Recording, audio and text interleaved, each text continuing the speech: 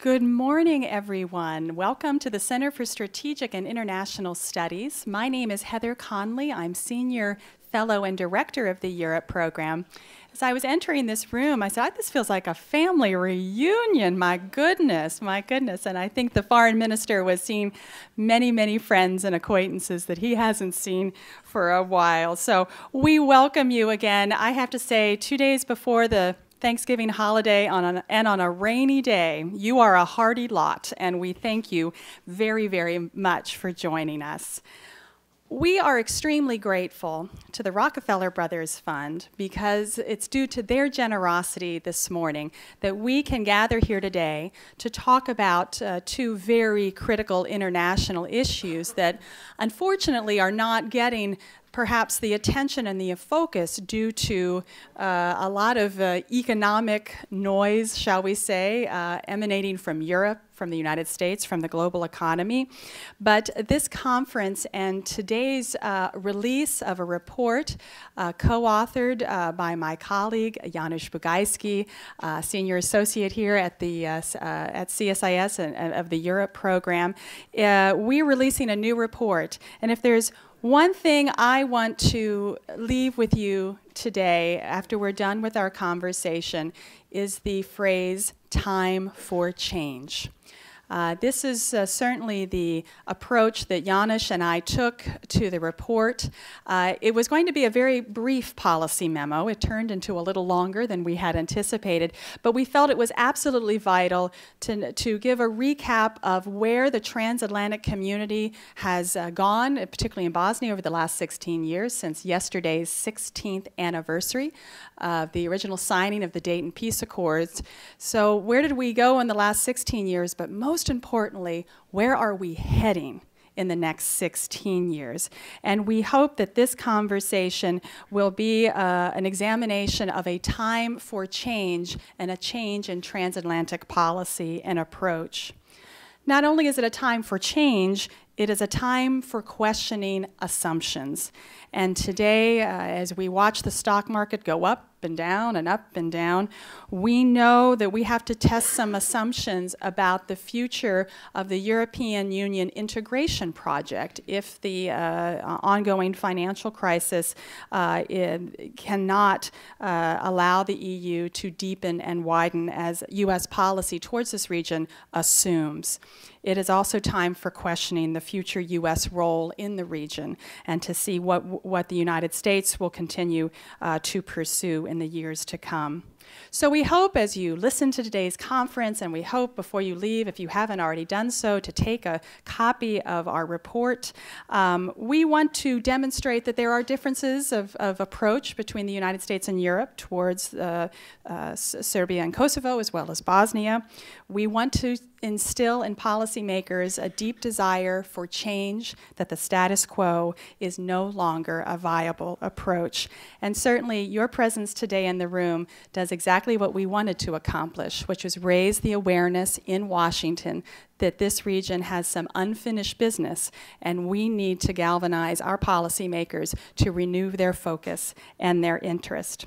And with this lead off, I can think of no one better to begin our discussion than the foreign minister, Sven Al and a man who needs no introduction to this room, uh, but as the current foreign minister of Bosnia and Herzegovina, um, uh, Minister Alkalaj, you have been a uh, long serving ambassador here in Washington from 1994 to 2000. That's why you have so many friends in this room, but has also served from 2004 to 2007 as the ambassador to the Kingdom of Belgium and the head of the mission to NATO. So, steeped, you are the transatlantic approach, my friend, and we look forward to your comments. Please join me in welcoming Foreign Minister Sven Alkalaj.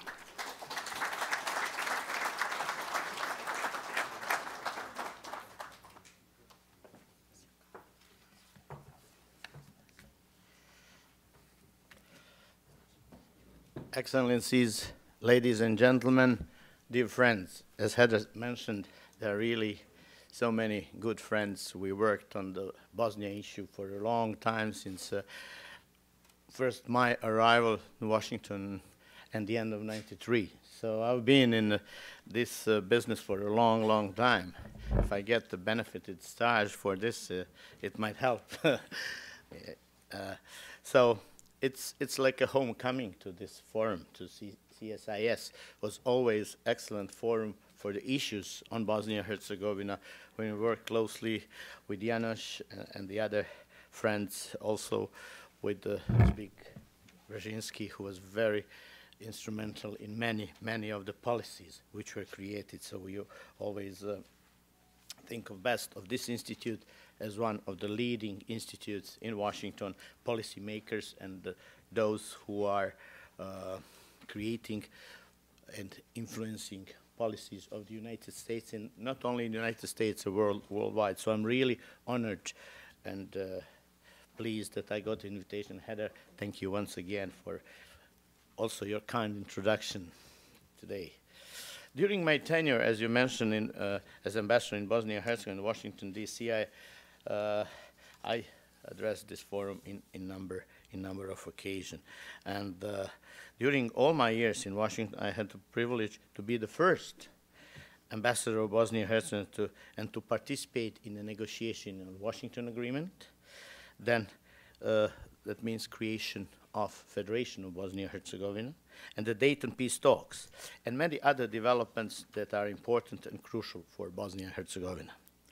So ladies and gentlemen, yesterday, as Heather mentioned, we marked 16th anniversary of Dayton Peace Accords, which ended the war and created a constitutional and political framework for the state of Bosnia-Herzegovina. But interestingly enough, the date was not celebrated in the whole of Bosnia-Herzegovina. In Republika Srpska, it, is a, it was national holiday, celebrating what some call getting an autonomous state within Bosnia-Herzegovina. And looking back on those 16 years since the Dayton Peace Accords, what can we say? There has been progress and achievements in a number of areas. I will mention just a few of the achievements in Bosnia-Herzegovina. On the path to EU, signing the Stabilization and Association Agreement with the EU, which was signed in June 2008, and all the countries, member states of EU, have ratified it. Citizens of Bosnia-Herzegovina got to travel visa-free into Schengen states, and we get a status uh, that our visas to get into United States are valid for 10 years now. Bosnia and Herzegovina was elected as a non-permanent member state of United Nations Security Council for the period 2010-2011, and our term ends this December. I think our participation in uh, uh, Security Council was uh, perceived by the other countries, not by us, as, as a very important and very constructive role.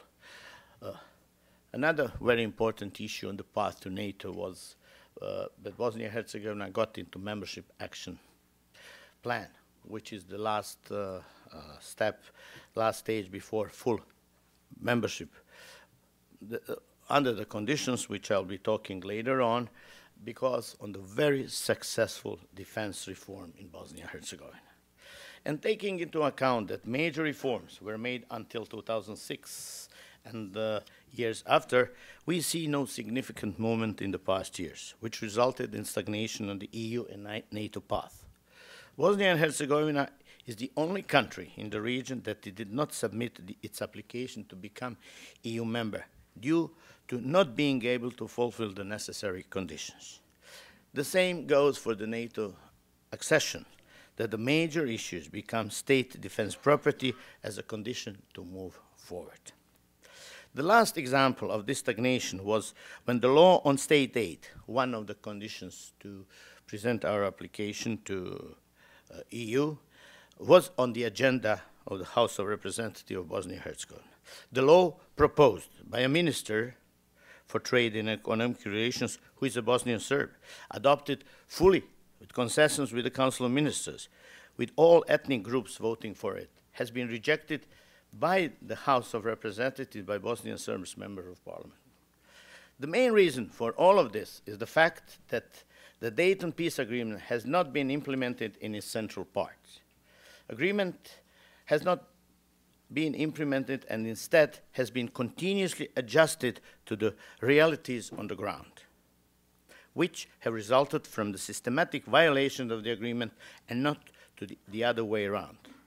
Most of the problems and challenges that Bosnia and Herzegovina faces today stem from the failure to implement the central elements of the Dayton Peace Agreements, particularly its Annex 7.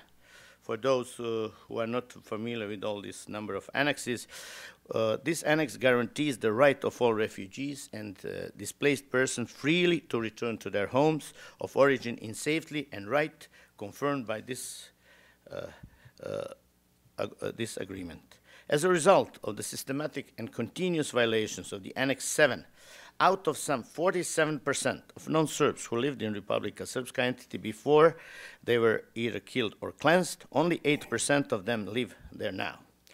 The failure to implement the Annex 7 has resulted in the most serious constitutional problem facing Bosnia and Herzegovina today, the so-called entity voting mechanism, which was intended as a safeguard for the legitimate territorial interest of the two entities, as perceived by all three constituent peoples, has morphed into mechanism by which one ethnic group from one entity blocks the state without any input from the other constituent peoples.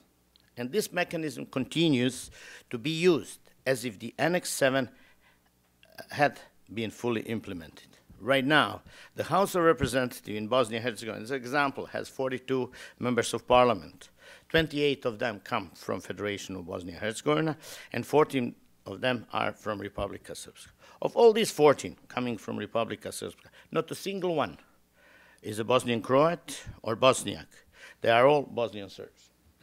That tells you that uh, return Annex 7 has not been implemented fully. The entity voting mechanism allows only 10 Serb deputies elected from Republika Srpska entity constitutes only 22% of the parliament's 42 deputies to block any proposed decision of the parliament of Bosnia and Herzegovina. And over these 14 years, those 10 deputies have used entity voting to block over 260 proposed laws. In construct, the parliament passed less than 150 laws in the same period. This ethnic monopoly, or particularly veto power on territorial interest, solidified ethnic division, renders the state dysfunctional, and in turn perpetuates instability. Or, as Mr. Dodik, the president of Republika Srpska, puts in himself, and I quote, we have demonstrated that we are ready and capable of defending our autonomy and our values it should be said that our concept is that for Republika Srpska to be mo more independent in Bosnia and Herzegovina and for our rights to be reinstated, end quote. Obviously, this view is not shared by all the political factors in Bosnia-Herzegovina. But this fact on entity voting was confirmed by very prestigious institutions worldwide.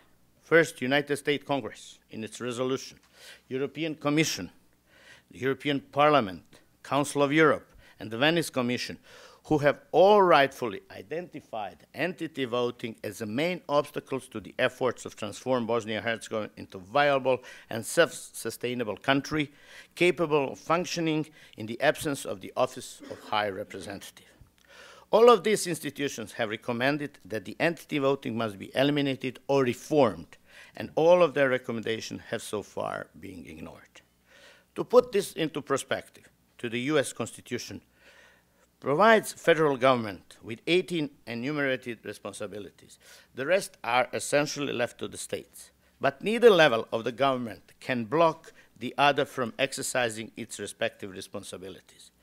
In Bosnia-Herzegovina, the state has 14 enumerated responsibilities, which is close enough to the US model, and the rest are granted to the entities.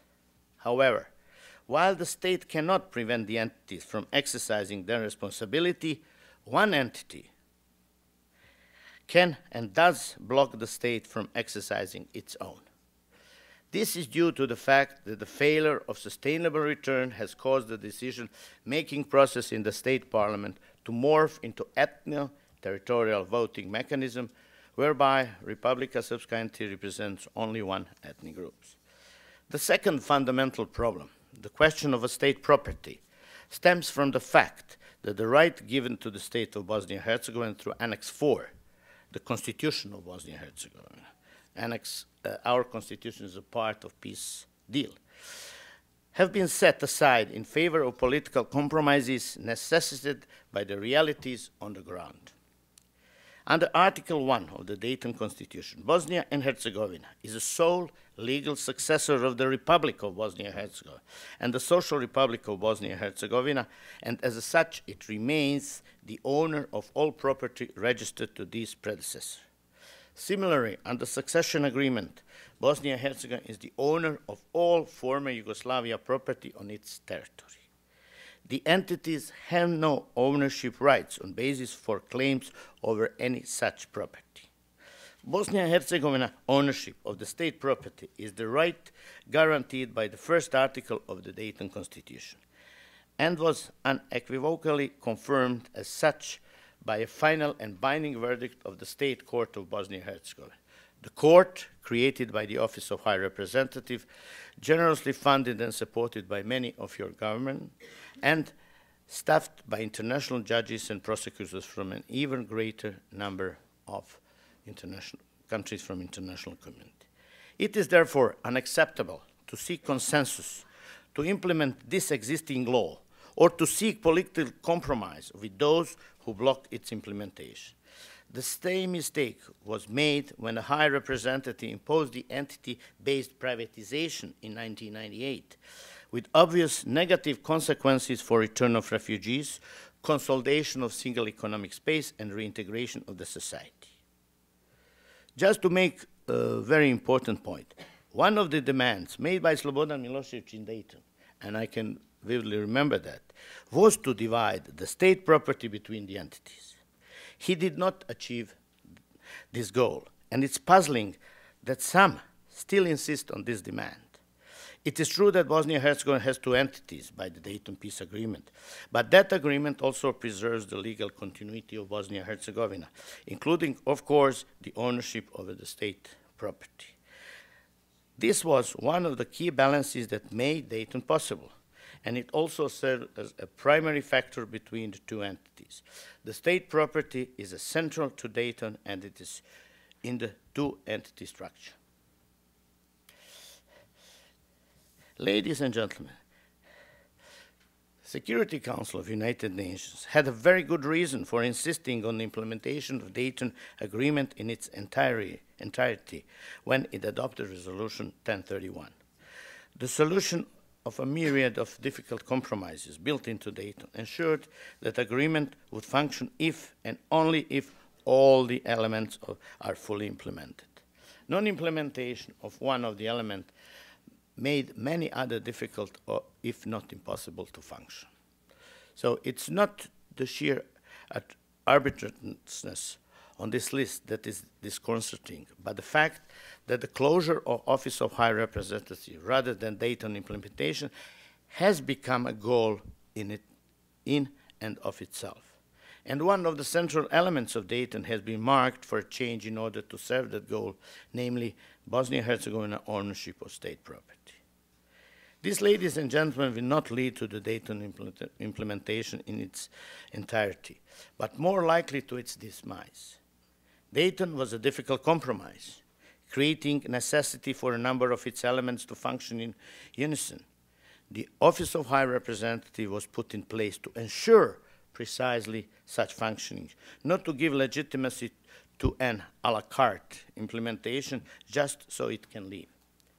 If the OHR mission had morphed from the full implementation mode to the departure mode, we can only conclude that such transformation is not in accordance with the clear language of this Council Resolution 1031. At the same time, we cannot be expected to provide assistance for this transformation. Not only do we take our in internal obligations, uh, including uh, Security Council resolution seriously. We moreover remain conscious that the dangers facing Bosnia-Herzegovina if Dayton central elements are slowly reduced, modified or completed, take, completely taken away. For that, ladies and gentlemen, if one of central elements is on the table, so must be all others. And as stated by the international community, and particularly the US, the objective of having a single state of Bosnia-Herzegovina capable of fulfilling its domestic and internal obligation is to be achieved. Two things must be done. First, the state must be given a political life of its own that is independent of the entities. The state must be able to carry out its stated responsibilities through a fully democratic process, at the same time contains protection from the vital interest of each ethnic group. Bosnia-Herzegovina is a complex country, and those vital ethnic interests must be protected. But no country, including Bosnia-Herzegovina, can function as a viable state if every decision can be blocked. Unless reform is undertaken in this direction, the debate about what specific responsibilities the state should have in the future is misguided. We could transfer all responsibilities to the state level, but that would be a futile exercise if the state has no mechanism to implement them in the entities. Second, in order to achieve the first objective, the country's leadership must be elected from the entire territory of Bosnia-Herzegovina. Due to obstruction of refugee return, today's politicians are forced to appeal to their ethnic base only. By electing their representative at the state level from the country as a whole, the voters, voters will be able to choose between those who offer concrete economic and social programs and those who are mired in the politics in the past. The political elites will in turn have no, to concentrate on building appeal that transcends ethnic lines and that truly serves the real interest of all the citizens in the country, not just the perceived interest of individual ethnic group. Moreover, the elected, elected representative will have to mandate of, it, of the entire country when carrying out the state responsibilities, greatly eliminating incentive and tolerance for blockades. The debate about future of Bosnia-Herzegovina has, has for far too long been steered towards the wrong issues. The issue is not whether Bosnia-Herzegovina has multiple levels of government aimed towards uh, the separation of powers. The issue is whether the state can exercise its responsibility without being prevented to do so by the entities. The issue is whether there will be a viable, functional Bosnia-Herzegovina with a true separation of powers, or a dysfunctional Bosnia-Herzegovina in which the entities decide how and when the state shall exercise the powers that clearly has under the Constitution. And today's situation, when Bosnia-Herzegovina is uh, lagging behind in all reforms on EU and NATO path within the neighboring countries, when conditions are not met by BH authorities, when our constitution is discriminatory to the extent that all citizens of Bosnia and Herzegovina are not equal or eligible to elect to certain political office in the country, and that after 14 months after the election we cannot form the Council of Ministers, i.e. government, all this shows that there are serious problems in the implementation of Dayton in moving country forward. When we are hearing calls for referendum for secession, continued obstruction from politicians from Republika Srpska, calls for the creation of the third ethnic ethnically pure entity. We have to step back and say that serious steps must be made by the international community to preserve Bosnia and Herzegovina as a state and not to allow a new crisis to evolve in Balkans. I'm not talking about the possibility to slip back into the violence or armed conflict. God forbid, war. That is a very remote possibility. But we must ensure that Bosnia and Herzegovina has functional institutions and introduce reforms necessary for Euro-Atlantic integrations. All mentioned deficiencies cannot be changed in a parliamentary procedure because there's no political will to do so, and constitutional obstacles mentioned earlier, which are used and abused, especially from the Republika Srpska side, which is steering towards the creation of a state within state. Please note that these are not my words, but the words of the leadership of Republika Srpska said and repeated over and over. So we have to look for new ways of moving the country forward. Fact of the matter is that the Dayton peace accords, which have ended the war and the bloodshed in Bosnia-Herzegovina, allow, allowed my country's progress, as we have certainly advanced to where we are today. But at this point, within this framework, we cannot move forward. But Bosnia and Herzegovina cannot make the next crucial step that will propel Bosnia and Herzegovina into Euro-Atlantic integration. At this point in time, my country needs more than Dayton can offer. Therefore, new ideas are welcome, and one of those is a possible conference on constitutional changes to, to remove the obstacles preventing Bosnia and Herzegovina to move forward. This gathering ought to be convened by US, European Union, and Russia. To, then, together with other signatories of the Dayton Accords, these changes in a new era for democratic, peaceful, and prosperous state of Bosnia-Herzegovina with efficient and functioning institutes can be launched. It is my sincere hope that discussions today uh, will take place here uh, will help us and the proposals that brought before us will, will bring forward to such uh, goals, and we will offer, it will offer new perspectives for Bosnia-Herzegovina. Thank you. Well, let me throw out the uh, throw out the first question, um, and and if I can tease out a bit of this, the conference on constitutional change. Um, as being there 16 years ago, as Dayton was signed, what are the critical elements of that uh, of that conference? And in the 16 years, if you could provide your insights on how the roles of the U.S. and the European Union have changed, in your view, uh, over those last, last 16 years, and what do you need from both Washington and Brussels in the future to help move through these very intransigent uh, issues, whether that's entity voting or on the state or on state property? Uh, thank you for this question. And uh, I mentioned the problems, and uh, I was not able to give the answers. If I could, I, I would gladly do. We did a, a couple of uh, attempts to do constitutional changes. Everybody here who follows Bosnia-Herzegovina remembers April package, which was uh, uh, done uh, in April 2006.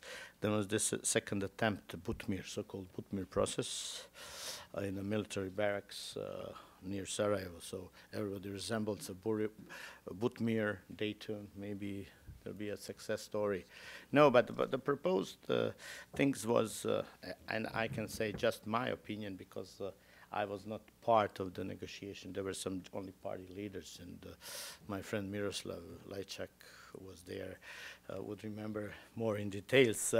Uh, I, I, can say just my personal opinion.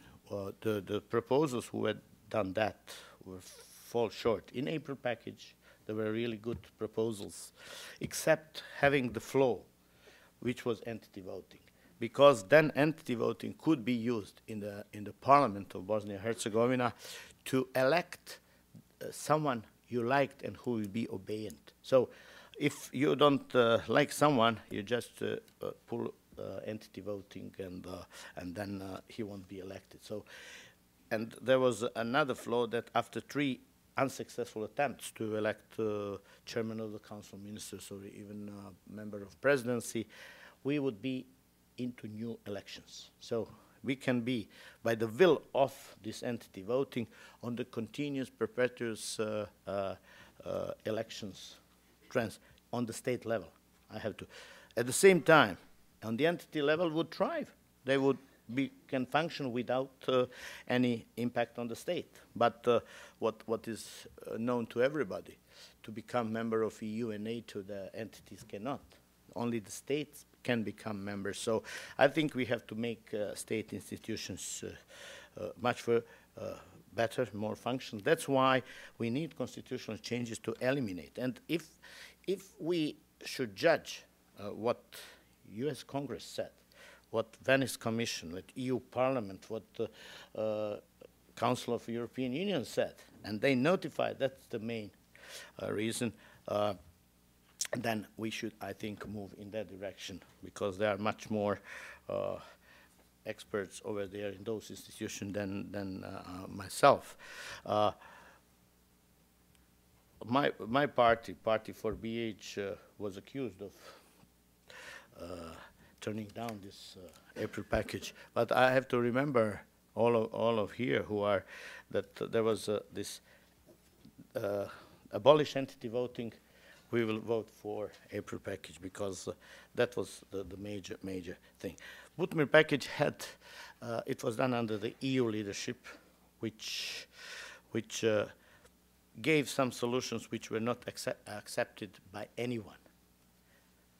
Uh, those who are for Bosnia and those who are for, for different options. So uh, it was not accepted by all the parties and uh, it was rejected.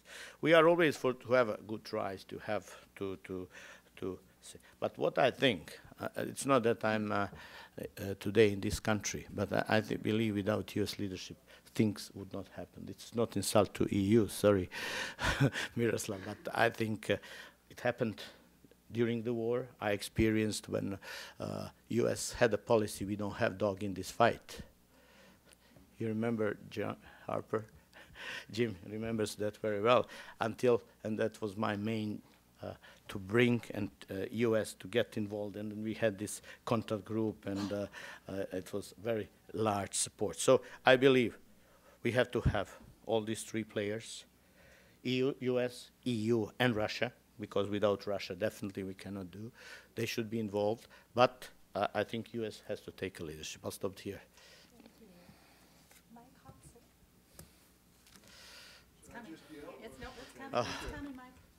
I'm Mike Haltzel from the Center for Transatlantic Relations, Johns Hopkins SAIS.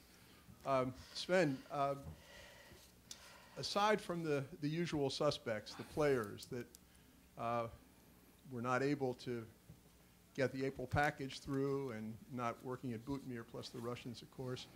Uh, what about making a role in a, in a conference on constitutional change? What about making a role for civil society in Bosnia? Um, some of the civil society groups transcend the entity borders, would give uh, democratic legitimacy. I know most people, when they hear civil society, think it'll be a food fight, but you know, we have a, uh, an example in the OSCE, much, much larger group than you know, simply Bosnia-Herzegovina, that uh, is giving civil society an increasing voice in its sessions. Uh, I'm saying a voice. They obviously don't have a final vote, but they have a significant voice. What about, what about carving out a role for civil society in this conference? Wonderful question. If I can just take one or two more, gentlemen to the right, Alex, and then Ambassador Kauzlarich there, and then you can wrap up. Okay. Uh, Obrad Kesic, uh, TSM Global Consultants. Uh, Mr. Minister, your speech laid out very well the position of Sarajevo as to uh, the talks on constitutional reform. I'm wondering uh, how do you uh, see the implementation of your ideas, given that both of the crucial things that you identified are opposed, the first one opposed by the Republika Srpska, and the second one opposed both by the Republika Srpska and the major Croatian parties in Bosnia. Other, it seems to me that the implication was that you see that the international community would impose these type of solutions. Is, did I misread that?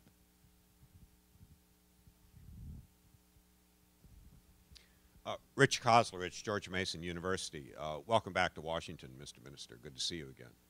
Um, if the politicians of Bosnia and Herzegovina cannot form a government after 14 months, how are they going to be able to agree on a new constitution? Tough. Fire away. Official is uh, not an easy task, trust me. I used to have a dark hair when I came to Washington, and you see what's happening now. It's like snow, it's outside.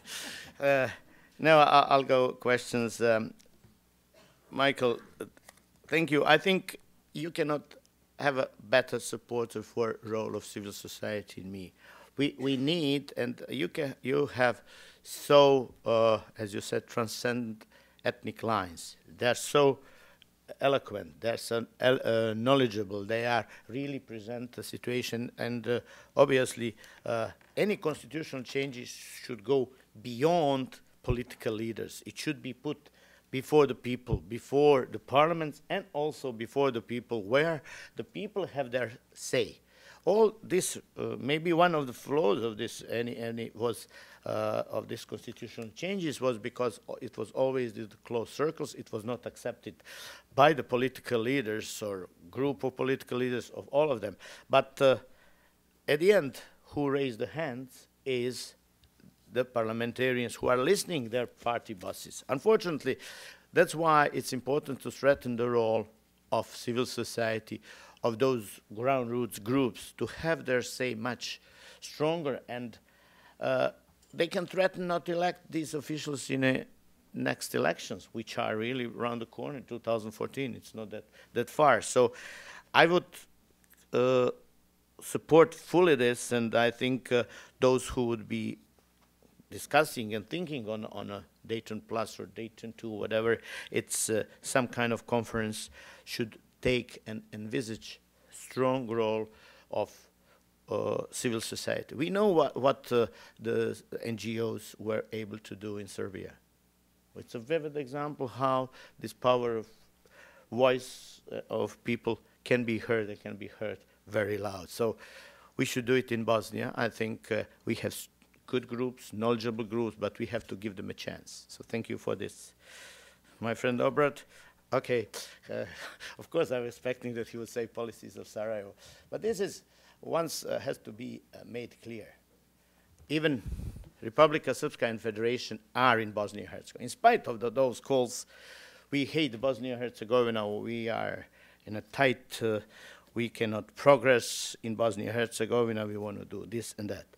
This is position of a viable state of Bosnia-Herzegovina. And if all the entities work together in a, in a good faith, I think we could create very good country. I'll take you one example uh, visa liberalization process. We got a map, roadmap for this very difficult things to achieve. But it was in a common interest for this uh, visa liberalization to appeal to the electorate, to give them visa-free travel in Europe. Even in Republika Srpska, they decided to transfer some authority or so-called sovereignty of the entity to the state level. It had to be. So we believe that placing Bosnia-Herzegovina into the European Union as soon as possible can be a format where the entities and the state of Bosnia-Herzegovina can find its way, both without saying, oh, we are endangering the, the entity status or we are taking authorities from, uh, transferring authorities from the entity to, to the state. No one is taking, because all, if we move forward, will bring benefit to all the citizens. And we have to start thinking in that sense, not to look, oh, what would I do for my entity, for my people. That's why I was proposing maybe different uh, uh, election, election law, which would bring more transparency to that you answer to every citizen of Bosnia-Herzegovina, not to appeal to your ethnic group. And then, of course, you're saying, oh, you see, there's a terrorism, there's a Wahhabis all over Bosnia, they are after uh, Christians or whatever. So uh, I believe uh, we should not look uh, to the uh, policies as Sarajevo policies, as policies of Bosnia-Herzegovina. And, uh, and I think you impose differently. I was not imposing that anything in that sense, what you were mention, mentioning. I was uh, saying that we should be working for Bosnia-Herzegovina together and to move forward because European Union, for all the countries of former Yugoslavia, Bosnia-Herzegovina, Serbia, Montenegro, Macedonia, is the best possible format to achieve all the rights of all the ethnic groups, of all the peoples, and uh, bringing them better, better standard of living. And uh, answer to be short to the Ambassador Kozlovic, uh, uh, forming the government. I think that's not the main goal. Everybody think that forming the government, it's going to, to solve all these problems of our accession to EU or NATO. No, why we, we don't have form, form government so far? I think what is important to here to understand the package that reforms are adopted. It easier would be later to divide the chairs, who would be playing clarinet, who will be trombone, who will be doing this and that. But I think we have to agree, and I, I tend to agree with these policies that we look for the package to fulfill this conditionality necessary to move on EU, to fulfill the conditionality to move on NATO. These are two critical issues and to hold the census in Bosnia-Herzegovina. If political leaders who will be creating majority in the new parliament would agree on, the, on those uh, main issues, I don't think that there would be a big problem in distribution of the chairs of the, of the uh, in the council of ministers. Mr. Alkalaj, thank you so much for those comments, and please join me in thanking the minister.